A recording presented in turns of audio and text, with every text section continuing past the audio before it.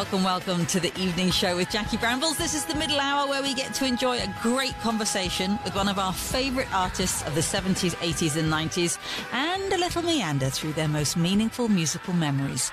That opening track, Mama, number four in 1983, may give you a clue as to who our special guest is tonight. His first band, Genesis, sold, oh, only about 100 million records or so. And his second one, Mike and the Mechanics, hasn't done too shabbily either.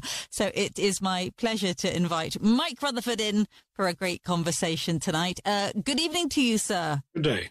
How are you? I'm doing well, thank you. And it's uh, it's great to see Mike and the Mechanics back out on the road. The refueled tour rolling into Birmingham this Saturday, then Milton Keynes on Sunday, Llandudno on uh, Monday, then onwards to Guildford, Cambridge, Reading, and Portsmouth before continuing on to Germany. Uh, is, is it pretty much the same lineup with Andrew Roachford, Tim Howard, and co on board? Yeah, well, I mean, it's a great yeah, it's a great, same as the last sort of 10, 12 years. It's a great bunch of guys. They all do different things. You know, Andrew Roachford's got his own solo career. Yeah. Uh, the normal drummer, got, uh, he does Tom Jones's head of music. Um, they all do other things. And um, uh, and this time we've added, because our drummers had a little, little, he can't make this tour, Gary Wallace, uh, we got, I asked Nick Collins, Phil Collins' son, to join us. Um, and he said yes. How amazing. How lovely to have that sort of um, passing of the baton, the drumming baton. I know. Well, I mean, on the last tour, he was fantastic on the Genesis tour and got on really well. He's a great drummer. And I wasn't sure. Yeah. He lives in America. Would he want to do it? And my wife said to me, drummers love to drum. Yes. Um, and yeah. How not? I mean, uh, quite as a little side tangent, quite something to become a drummer when your dad's known as being a brilliant drummer.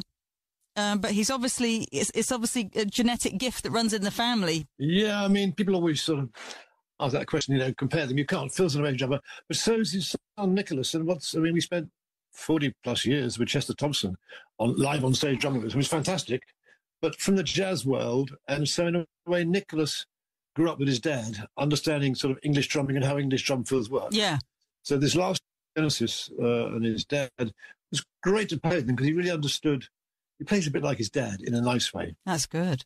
That's great. How amazing. That's really, that's lovely. And, and obviously, Mike, you must absolutely love touring because I mean, you're not that far long off the back of a huge Genesis tour, which kind of got semi interrupted by COVID, but you managed to finish it off last year. It's a little harder just because the, what would have taken a year to two years, you know, stopping, starting, rescheduling. Um, and um, yeah, I mean, to be honest, I, I, I prefer making records. But nowadays, to make a record, it's a lot of work. Yeah. It's a year of angst and can I do it again? Um, I'm not sure a record is what I want to do at the moment, and touring's so easy. Right. Yeah. You have a start date and a finish. And and life on the life on the road now. How would that differ to life on the road from back in the day? Um, well, obviously, I mean, somewhat more sensible. Well, in a funny way, it's quite nice because the Mechanics never really toured in the early days with, with Paul Carrack and Paul Young. We'd hardly any any live shows at all. I can't quite remember why, but um, so in a way, bringing these songs to, onto stage, people have not heard them much. It's been quite uh, quite enjoyable to do. Sometimes, sometimes I.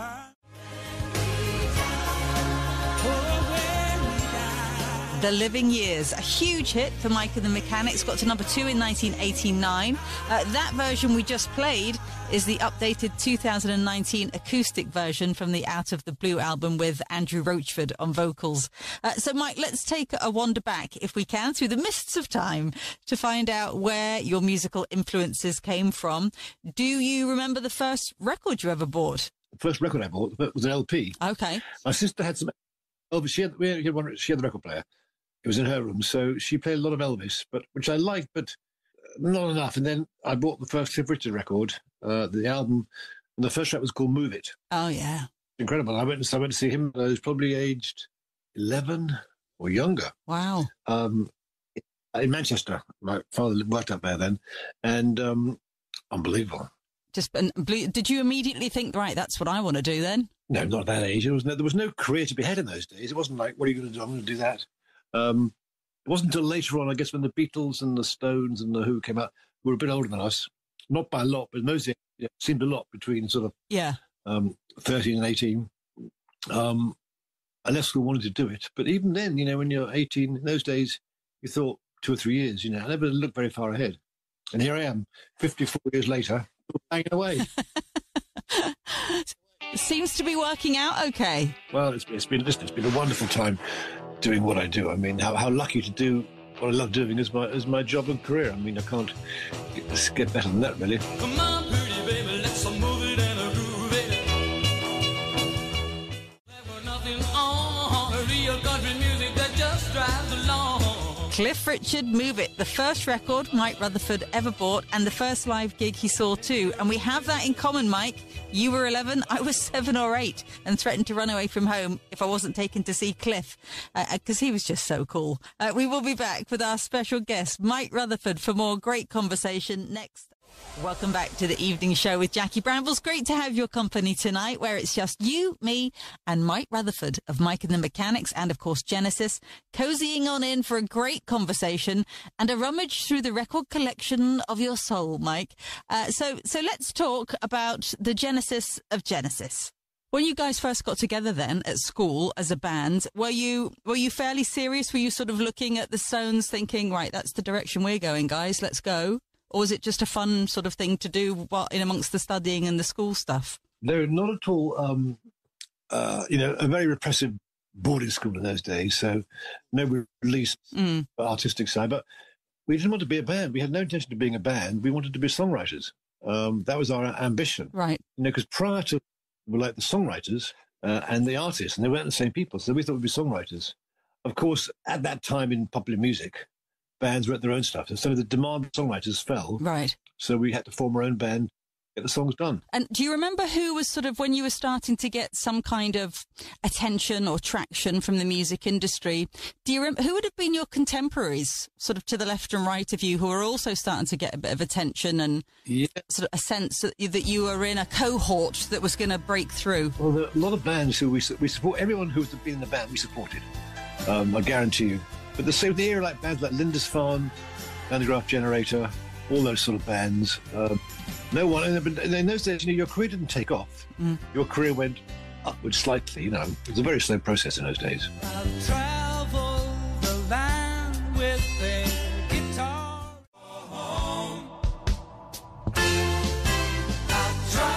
I so clearly remember buying that single, Run for Home. I have the world's worst memory, but I think every final purchase has a photograph of it lodged in my mind. Uh, Lindisfarne, contemporaries of Genesis in the early days. And, and I suppose, Mike, the massive difference that bands like Genesis would have certainly benefited from compared to today is that there wasn't the same enormous pressure to be immediately commercially successful. You were given sort of um, the space you would have a, you know a multiple album deal if you did get signed back then and you'd have a little bit of space to grow and evolve yeah i mean that, that's a very important i think kids they understand it an amazing way to learn have an apprenticeship yeah you know we did two or three albums in two or three years they got better but we're learning our trade you know and it wasn't a bit like oh my god that wasn't a big hit it sold a few copies um, pay for the petrol. You know, in a sense, that was sort of you could learn your craft. Yeah. Now it's got to happen.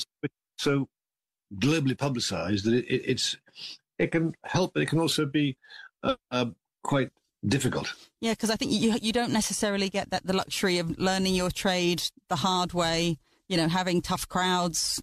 You know, the grind of the road before you are rewarded with the success. Sometimes the success comes, and then some artists are maybe not quite ready for it. hundred percent. I mean, I think you know you you learn your skills on the back of the van, up and down, in England and America too. It's a great way to learn how to make an our audience work um, and become a band. You know, it takes time to become a band of players. Yeah. And now things go since MTV, things go so fast. Sometimes you miss that step out. Which is a shame, I think. Um, I'm just looking up here your, your first Top of the Pops appearances. You were on quite a few times, but without being in the studio, from what I can gather. I think your first studio appearance would have been 13th of March 1980. Top of the Pops, they were like album bands and singles bands, and you couldn't be both.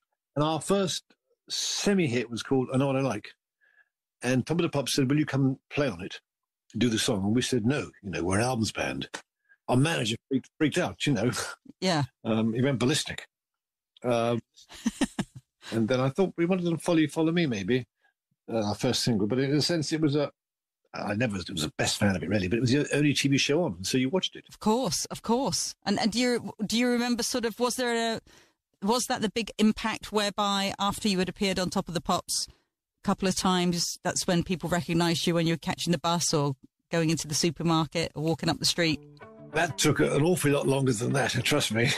Um, Did it? yeah, I mean, you know, it was, it was always a weird show to do because it was great fun and the DJs were nice, but in a sense, the audience were just like a bunch of kids from down the local school. Yeah. You know, didn't really know who you, what you were.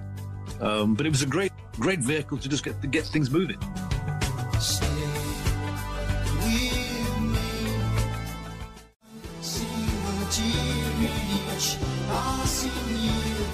Follow You, Follow Me, the first song to break the top 10 in the UK, got to number seven in 1978. So, was that uh, a pivotal, significant turning point for Genesis, or did it feel like a very long time coming? Well, in, in many ways, our, our growth was so slow, almost too slow. You know what I mean? It's sort of a, when it happened, I suppose when you start doing arenas, you, you listen, listen, you never, in this, you never get to this world. You're always trying to get to the, next- to the next thing.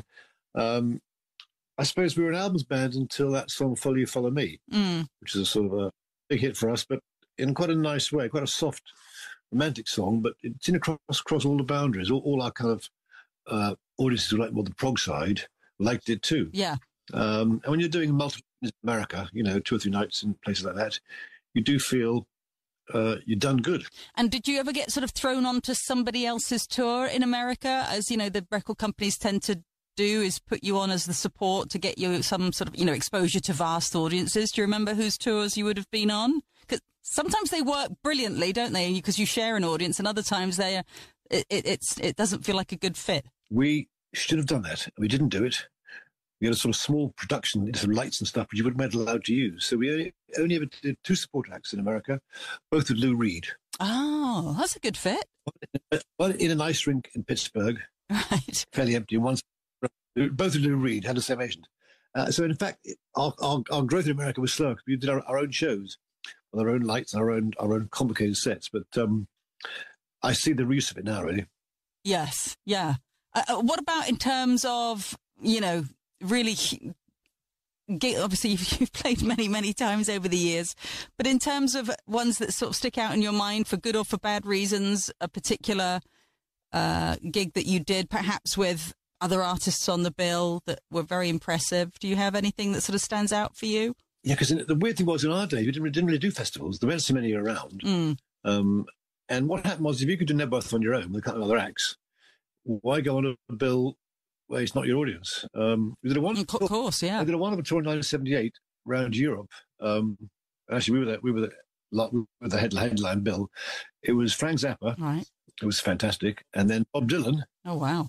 Who was Bob Dylan, and then, then Joan Baez, right, who was so popular, sort of bang a, bang a cowbell, bang a beer Yeah. can, uh, and then us.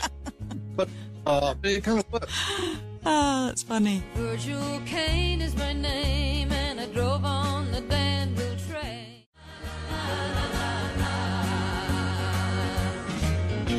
That got to number six in 1971, the night they drove old Dixie down from Joan Baez, tour mates with Genesis in 1978, cowbell and all. Uh, and we will be back to continue our great conversation with our special guest on the evening show tonight, Mike Rutherford. That's coming up next. Welcome back to the evening show with Jackie Brambles and to our great conversation with our special guest tonight, Mike Rutherford of Mike and the Mechanics, who are currently on tour in the UK and, of course, originally a member of Genesis. Um, as we remarked upon earlier, Mike, you've had this incredible 50 plus year career in very successful bands. And to that point, the way that a band is made up, the lineup of a band, the way that it can change over time, obviously, you know, Peter Gabriel left the band, and then sort of Phil stepped forward, and and then Mike and the Mechanics was sort of a side thing, and Phil had his side thing. What's your overview from where you are now about how much that matters? Yeah, well, I, I think I think I think in a funny bit, Genesis, uh, um, we're a unique band in the sense that most bands who did solo careers, you know, guys did a solo album in between band albums, were kind of a bit frustrated, Yeah, and so it was a, sort of. Our case was just so opposite. We had a, we were having a great time, but Phil got divorced, went to America for Canada to try and sort his life out, we had a gap, so we did a solo album, Tony Banks and I. We realised that actually the, the break from it, the change from being away from Phil and Tony was so good. So when he re- reformed again, you know, for the next album, you were fresh. And the solo, I think the solo stuff kept us going a lot longer because we had the variety of being able to go away. And I think we were very lucky actually in that Phil's first solo album, In the Air Tonight, which kind of took off unbelievably. You'd have thought maybe that he might have gone off on his own thing, but at the time it took off, we were in the middle of a band album, Abacab. So in a sense, it was great sort and he was loving it. You know, I think it's been our savior rather than our, our causing any problems. I can feel it coming in the air tonight.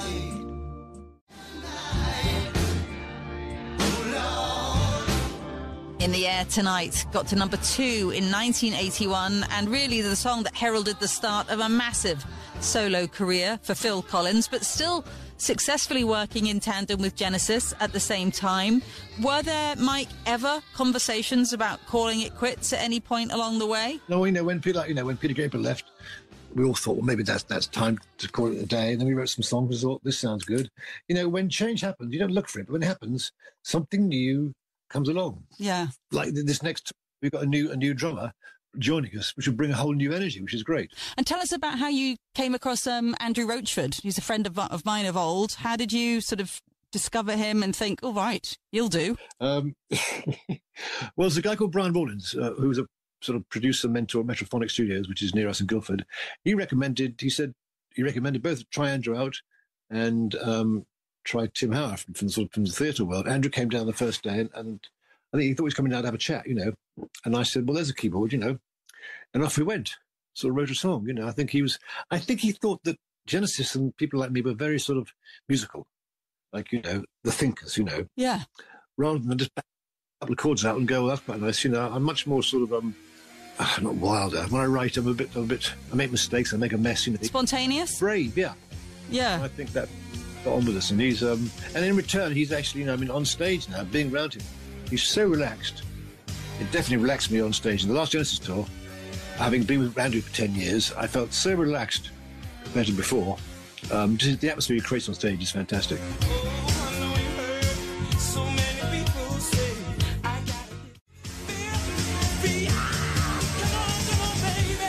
Cuddly Toy, a huge hit in 1989 for the hugely talented Andrew Roachford. Well, listen, before we let you go, we always ask our guest artists uh, to choose the final track. Um, and if you can pick something, because you know that every time you put it on, it will deliver what you're asking of it, whether that's to soothe you if you're feeling melancholy or uplift you if you're looking for energized inspiration. What song would that be for you? A lovely day. Oh, yeah, Bill Withers. Well, I mean, what, what a song! I mean, it just, it just, it's just such a simple song. There's one chord change, you go, oh yeah. I mean, it's a classic moment.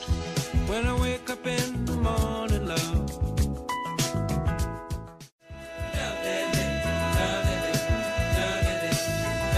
Great final track choice from Mike Rutherford. Bill Withers, circa 1978, and it charted again in 1988, you may recall. Lovely day. Uh, and thank you so much for a lovely chat, Mike. Guards, please. Quick question: Is, is that the station that um, Ken's moving to? Ken Bruce is moving to? Yes! Well, please give him my regards. Um, such, a, such a nice times with him. Um, I saw in the papers all the kind of moving stuff. No, please give him my regards. Um, and I think I've always said one thing I've learned in life that any kind of change, if you go, before, if you move when it's, people say it's too early, it's the right time. So I think he's done a very sensible move then. So give him my regards, please. I will do, Mike. Thank you for that. All the very best. Thanks a lot.